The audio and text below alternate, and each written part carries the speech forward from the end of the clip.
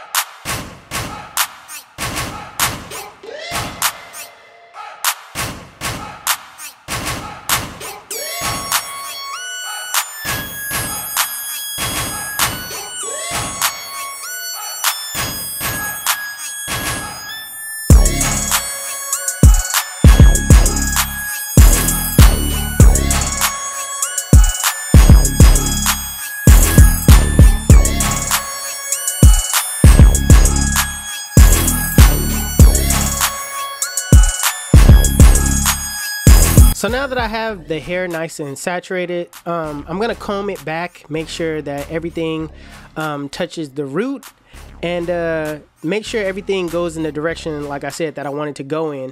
By using my comb, manipulating the hair, um, it makes it a lot easier and manageable.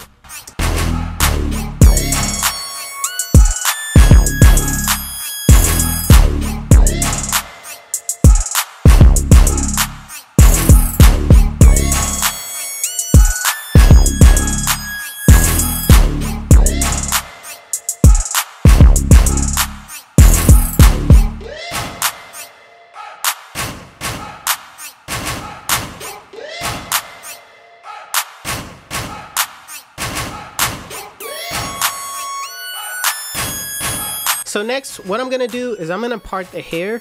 Um, at the parietal ridge, I'm gonna set a part, and that's the parietal ridge is basically the edge of the hair um, between the top and the sides, right? It's the area that I'm working in right now. That's called the parietal ridge. So I'm just gonna set in my duck clips, um, make sure that the hair is combed down, and uh, I'm gonna do that around the entire head.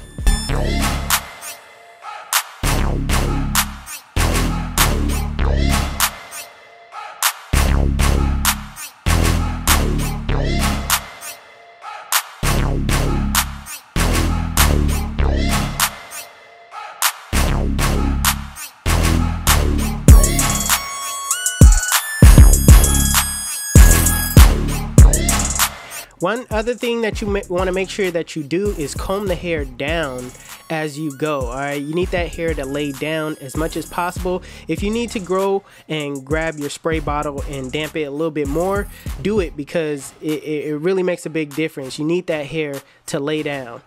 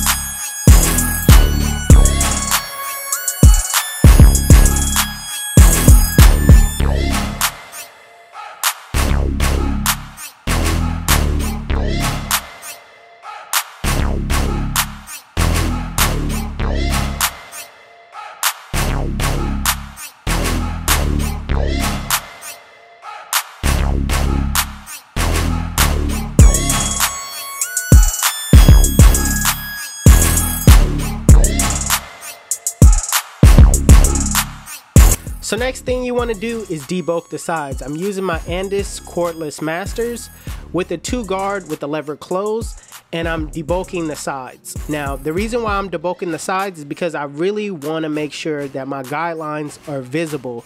That's extremely important. You don't want to put the bald line on a chunk of hair like this and just, you know, you know, it does kill time, but starting out, uh, make sure that it's just neat and and and controllable all right that's that's what we're doing right now we're making sure that it's at a length where everything is controllable, where you can set your guidelines in and everything is visible.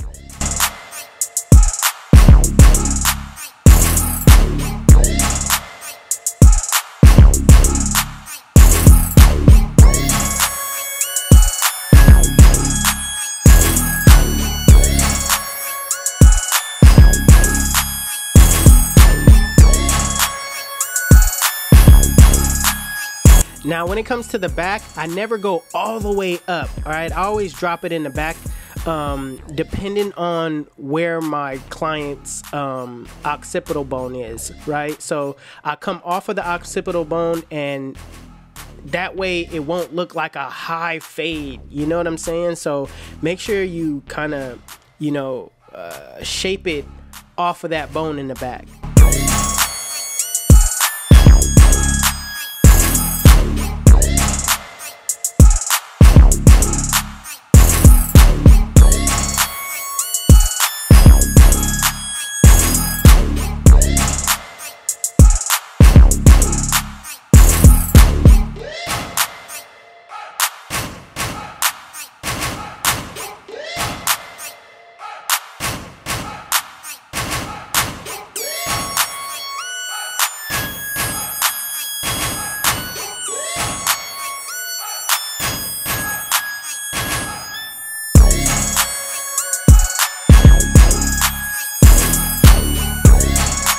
Next thing I want to do is build shape.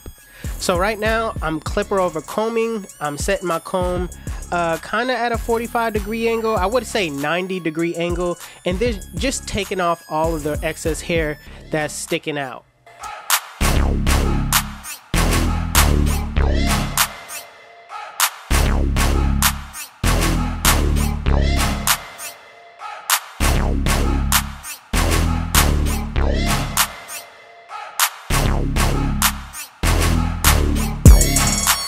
Now, in some areas, I like to go straight up to blend the bottom half to the top. So don't be afraid to go up and down instead of just always relying on that side to side motion.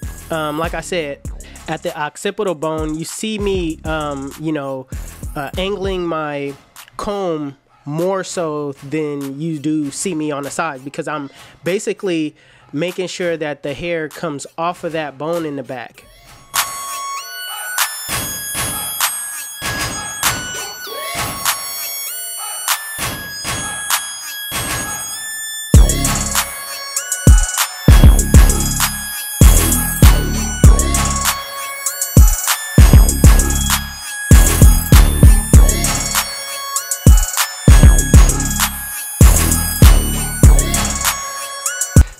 First starting out doing clipper over comb, you want to make sure you stay you, you take your time as much as possible. All right, don't be so influenced by everybody that you see, you know, clipper over combing fast because there's a there's a good chance that you could mess up clipper over combing. You you could accidentally, you know, go behind the clipper rather than go in front of the clipper. And I've done that uh I want to I say one time I've done that. So make sure you you don't go by what you see everybody else doing it so fast you know what i mean just take your time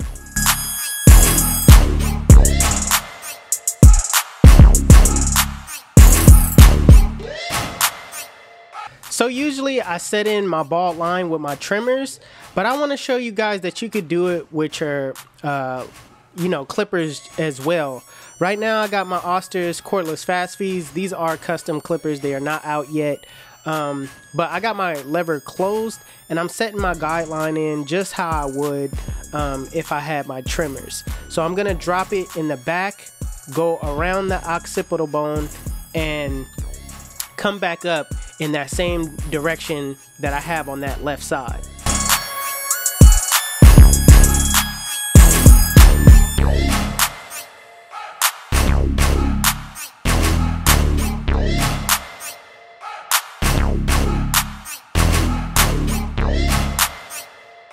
So what you don't want to do is bring that line all the way around. Chances are it's not going to be straight. So I'm going to start right here in the front and then kind of meet it in the back.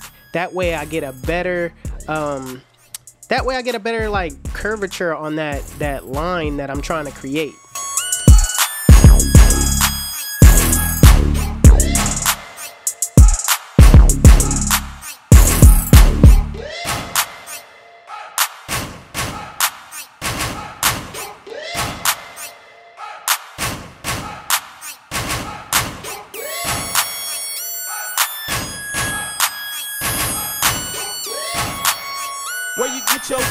So next thing I'm gonna do is I'm gonna take my trimmers and just take off the rest of the bulk that's on the bottom half.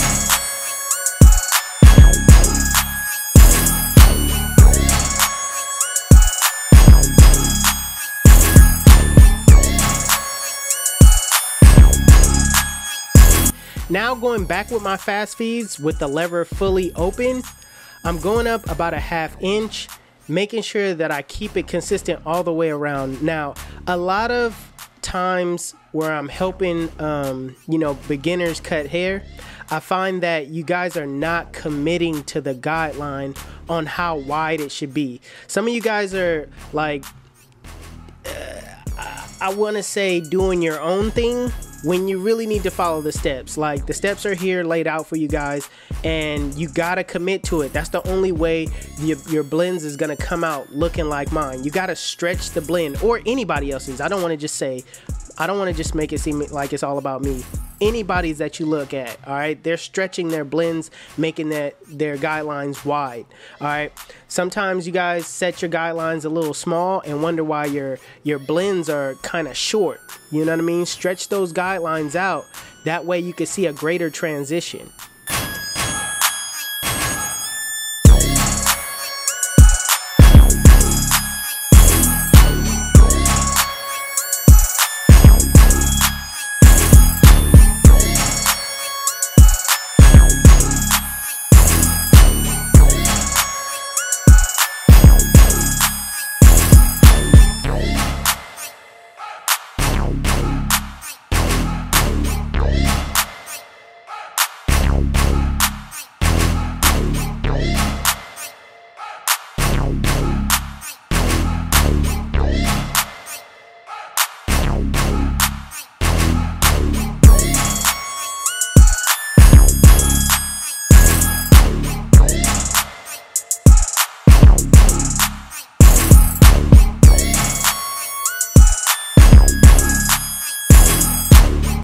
you guys to look at how I'm going over the guideline multiple times. Like even when I go around, I'm not going to stop here. I'm going to keep going over the guideline even when I go back around.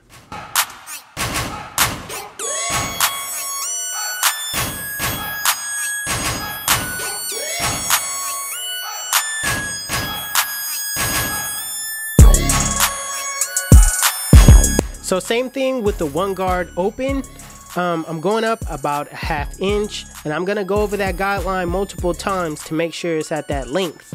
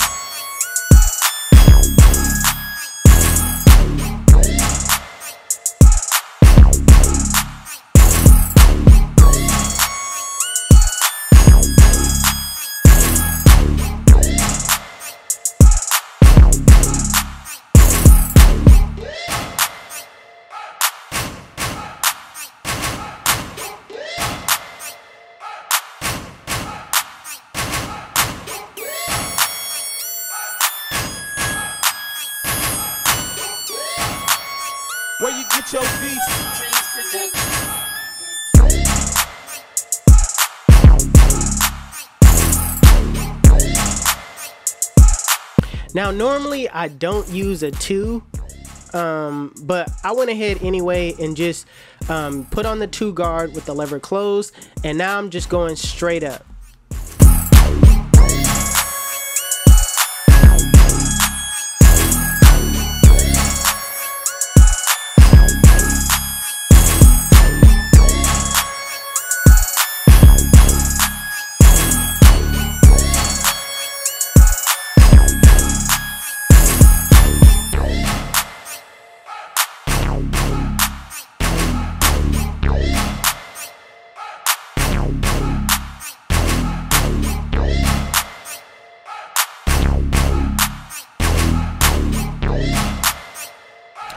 So just because you clippered over comb the first time doesn't mean that you don't come back and do it again. Doing it the first time was just to get yourself visually um, there before you actually just dive right in. So right now I'm doing cleanup work. I'm setting my comb at a 90 degree angle and I'm just taking off all of that XX hair that's sticking out.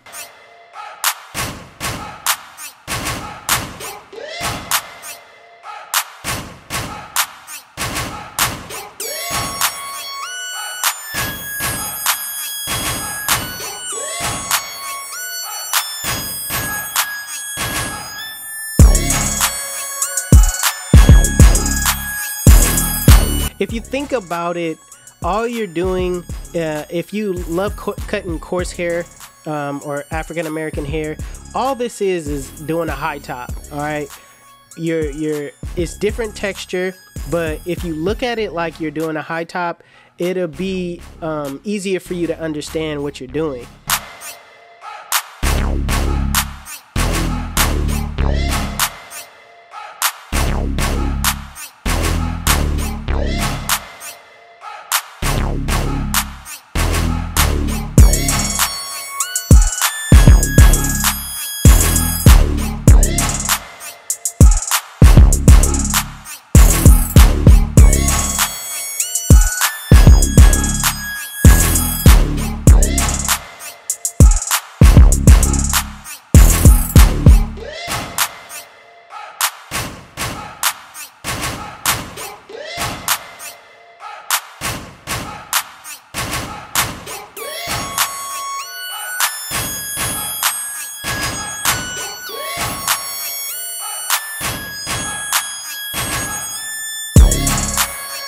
Working back down on the fade, um, I'm putting back on my one guard and just making sure that area between the one and the two runs smoothly into each other.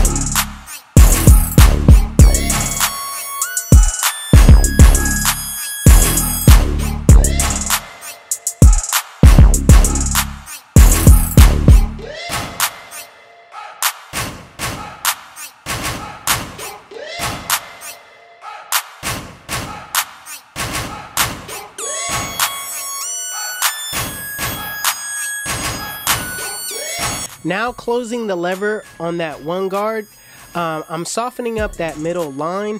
Um, that way it's easier to take it out with the next step.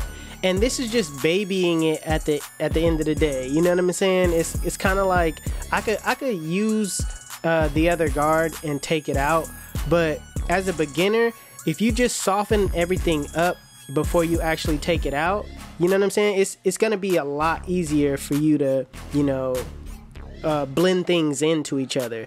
Just soften things up before you actually take it fully out.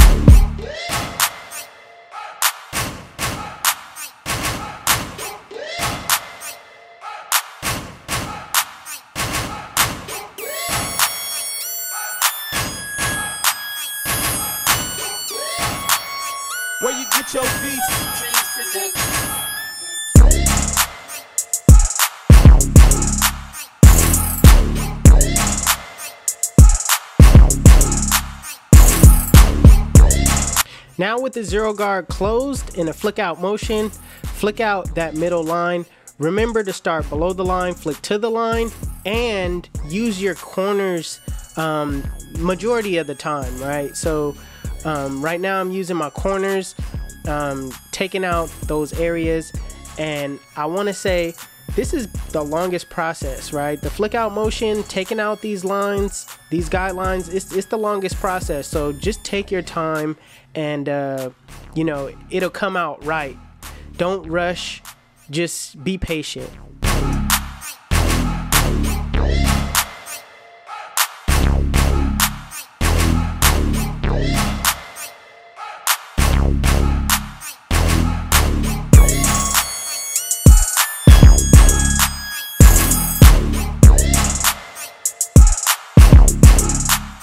Remember the flick out motion is not the same motion that you do when you set in guidelines, all right? It's a different type of, of motion. It's more of a one, two, one, two, one, two, three, one, two, one, two, one, two, three. It's, it's, it's a different type of motion. Like when you're drawing on, like say you have a piece of paper and you're, you know, got a pencil and you rub that pencil super fast across that paper. That's basically what you're doing when you're taking out these guidelines.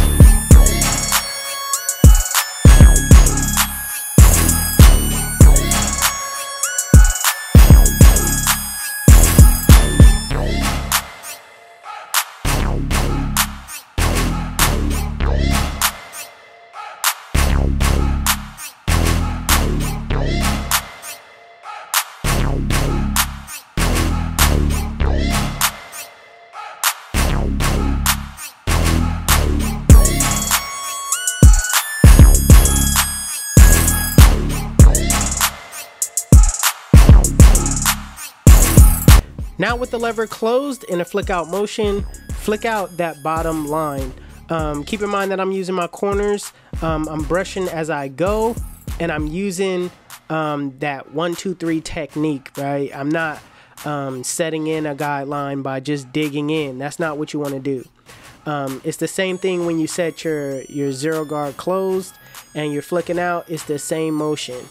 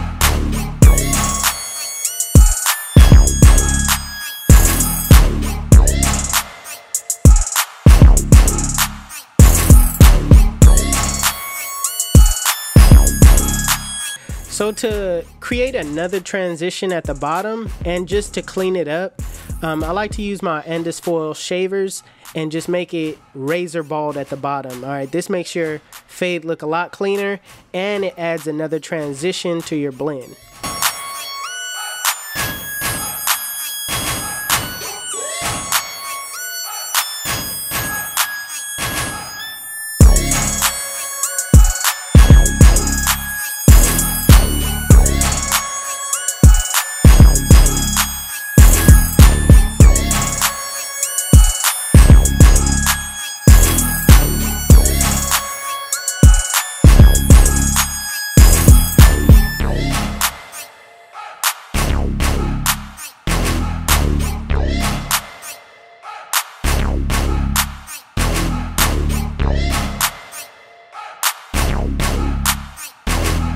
Lastly, as far as blending, what you want to do is do detail work. All right, this is what separates you from just being average, right? You just, um, I like to look away from the blend. I like to look in the mirror. I like to use other perspectives um, to basically see differently.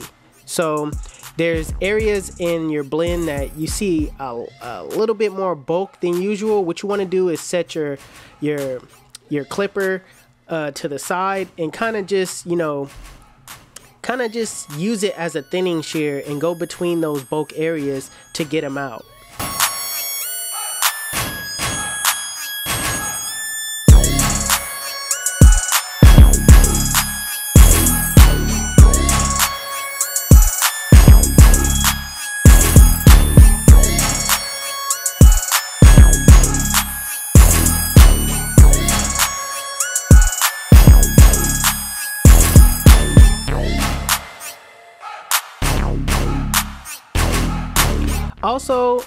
When it comes to uh, you know blending, you guys want to memorize your guidelines. I can't stress that enough. That is most important. You shouldn't be guessing what guard to pick up next. Make sure you guys train your eye to know what guard uh, goes in what area.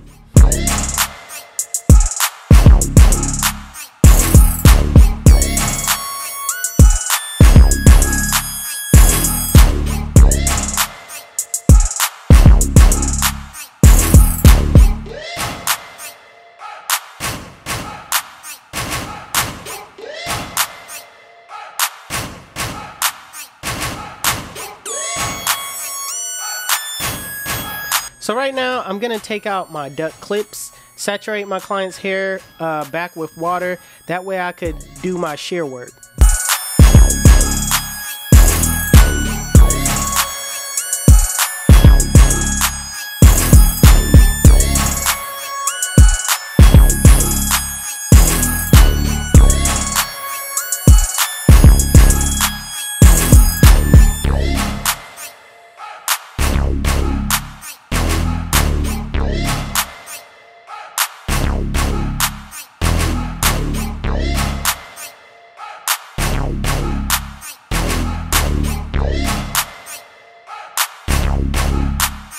So now that I got my hair nice and saturated, I'm gonna start by parting the hair, making a strip down the middle, and use that area down the middle as your your guideline. All right, so I'm gonna take off about an inch in the middle and whatever I take off in the middle, I'm gonna line it up with the hair that I have on the sides and match it up to everything in the middle.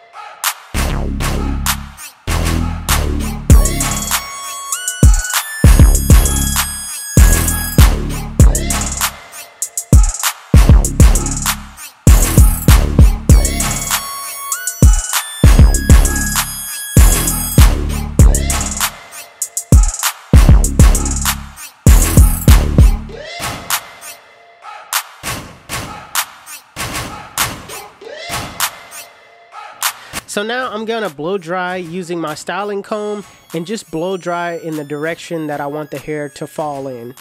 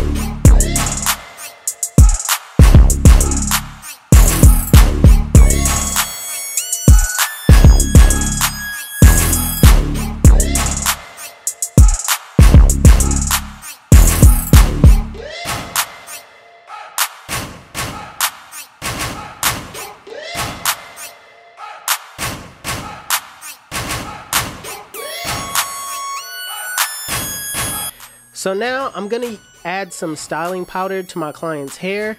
Um, I like using this um, on kind of longer hair because it doesn't leave the hair uh, wet looking. It has this natural uh, kind of dry looking um, to it and it actually adds a lot of hold to the hair too. So um, I add a little bit to the roots and on top and um, and I just style it with my hands after that, giving it that kind of messy look.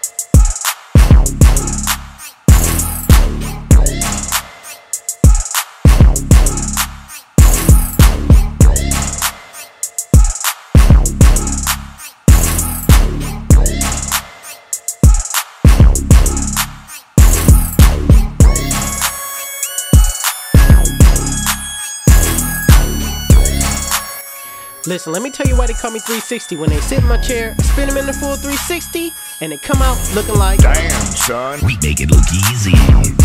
YouTube. This is the cut. And if you like it, make sure you give it a thumbs up. If you're new to my channel, please hit that subscribe button. Also, Hustle Dreams Production, that's my brother, he does all my beats. His YouTube channel will be linked in the description below. Also, if you want to know where you can find any tools that you've seen in this video, links will be in the description below. Otherwise, you guys can follow me on Instagram and TikTok. My TikTok is official360Jeezy and my Instagram is 360Jeezy. But it's your boy 360 Jeezy, and I'm out of here. Shit.